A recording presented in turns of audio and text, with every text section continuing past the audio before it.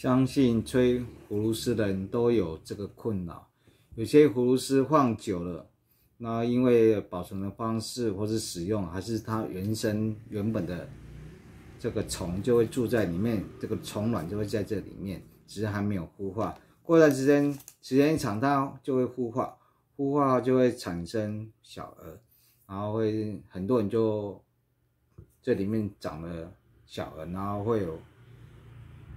不好的味道，然后就会把它丢掉。那首先呢，我们来试看看用什么方法来解决这个杀虫哈。啊，先把它拍打，你看，在拍打的时候，它就会出现粉末，这表示这已经是一个很严重的啊。那这把壶是大概有十五年以上，怎么样？它就可以派出大量的粉末哦，那一般可能就可以准备把它丢掉了哈。我想试看看用这个方法是可以清除里面的虫卵，然后这些蛀虫，然后杀死这些蛀虫的方法。好，先把它里面拍干净。可以尽量的拍打，让里面的粉末啦、或氧化各方面的东西都跑出来。好，差不多了，也给大家看一下，这个已经很严重的，就出现这么多的粉末。好，接下来呢，我们使用七十五帕的酒精，将酒精呢直接。灌入它的葫芦里面，然后你可以用手直接把它盖起来，啊，那我是希想说用胶带先帮这个吹嘴的部分把它封起来。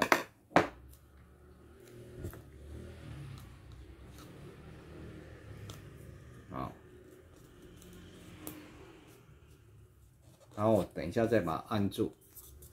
然后我们把酒精倒满这个孔，然后记住哦，这个洞要先封起来哦。你可以先按住这个洞口，然后把酒精慢慢的倒进去。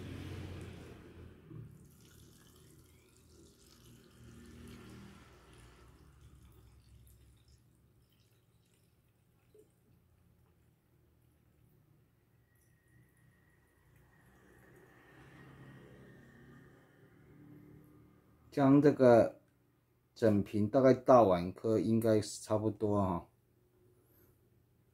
好，倒到就是快满了啊，就稍微摇晃一下。那这个时候就要静置一到三分钟。那我们就先等一下三分钟，再把它倒出来。谢谢。好，最后呢，我们就把这个里面的酒精倒出来。这样的除虫动作就完成了。好，把它的底部的胶带打开，让这个酒精呢倒到这个瓶子里面去。啊，平常你的保养也可以做这样子的。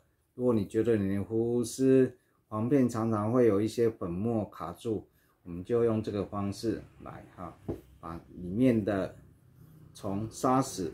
目前找到的也是。常用的杀虫的方法，大家不妨可以试看看。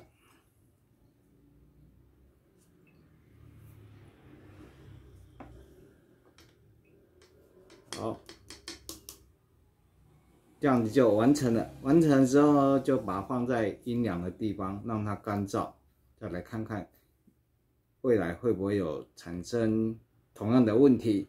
如果没有，表示。就是杀虫成功，谢谢。